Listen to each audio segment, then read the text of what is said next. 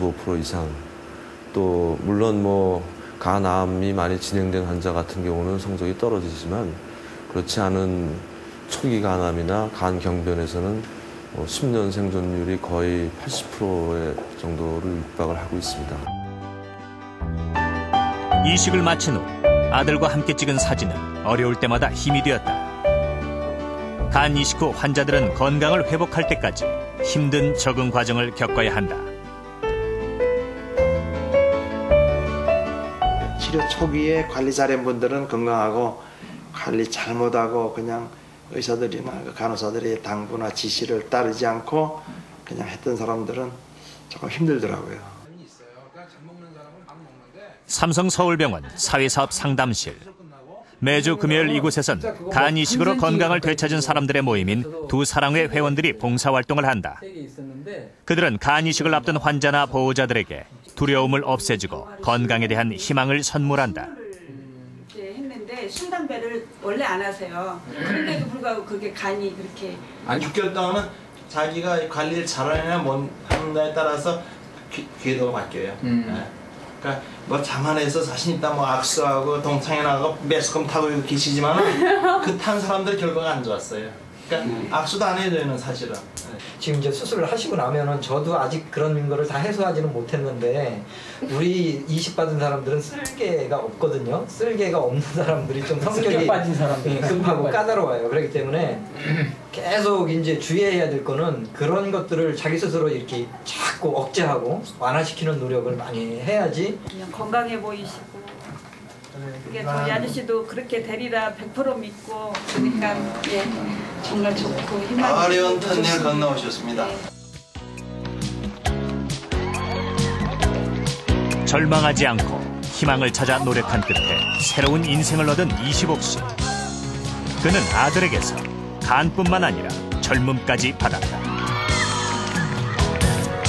간을 이식할 때 젊은 20대의 간을 이- 이식받은 사람은 그 스태미나가 그대로 이제 옮겨오는 것 같아요. 그러니까 뭐 이 축구뿐이 아니고 모든 이뭐 정서적인 생활 이런 게 산에 오르는 것도 그냥 정상까지 올라가니까 다 나중에 쓰러질 망정.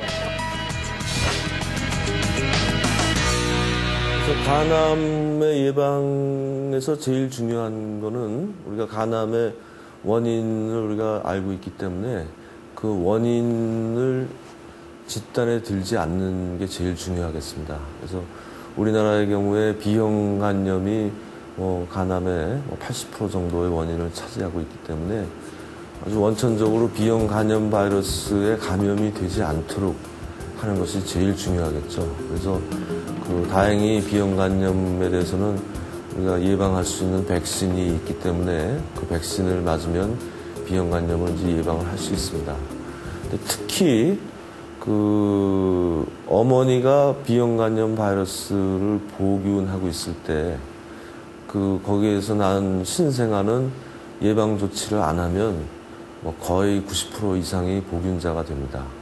근데 다행히 그런 그 어머니가 보유자라고 그래도 낳자마자 그 면역 글로불린하고 백신을 투여를 하면 거의 대부분에서 보유자가 되는 것을 예방을 할 수가 있습니다.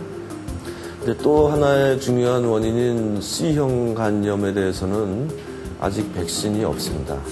그래서 C형 간염을 예방을 하기 위해서는 C형 간염의 전염 경로를 알아서 그런 전염이 될 수 있는 경로를 차단을 해야 되겠는데요. C형 간염의 주된 감염 경로는 혈액입니다.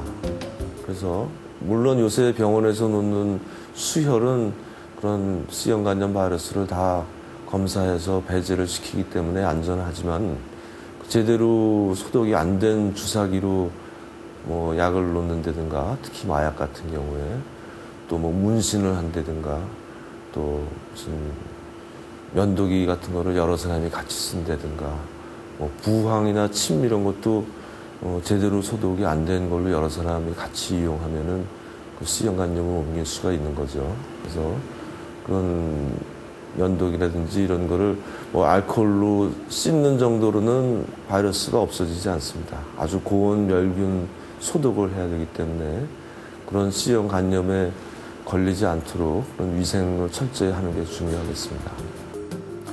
또 음주는 물론 안 좋습니다.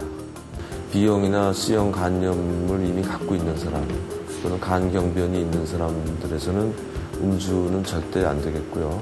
건강한 사람들도 뭐 일주일에 3, 4회 이상 자주 습관적인 음주는 분명히 간암의 위험률을 굉장히 높이게 됩니다. 어, 그 외에 물론 담배도 뭐 폐암 같이 직접적이지는 않지만 간접적으로 발생률을 높이니까 그 간질환이 있는 사람들은 어, 금연을 하시는 게 좋겠고요. 그 외에 일반적인 생활은 뭐 일반적인 그 장수를 위한 건강을 위한 생활과 마찬가지입니다.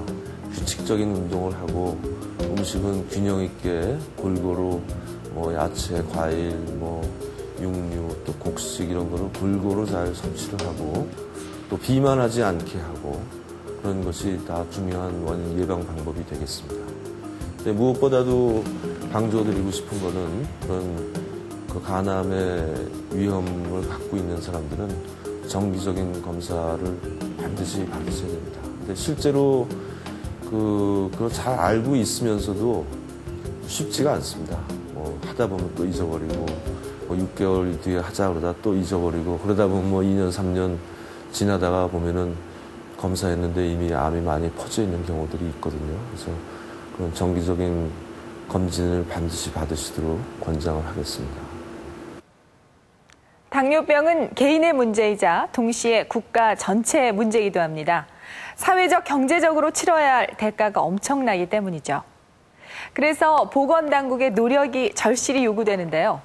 충주의 당뇨관리 특별사업을 통해서 당뇨를 극복하기 위해서 개인과 보건당국이 어떻게 해야 할지 다음 이 시간에 알아봅니다.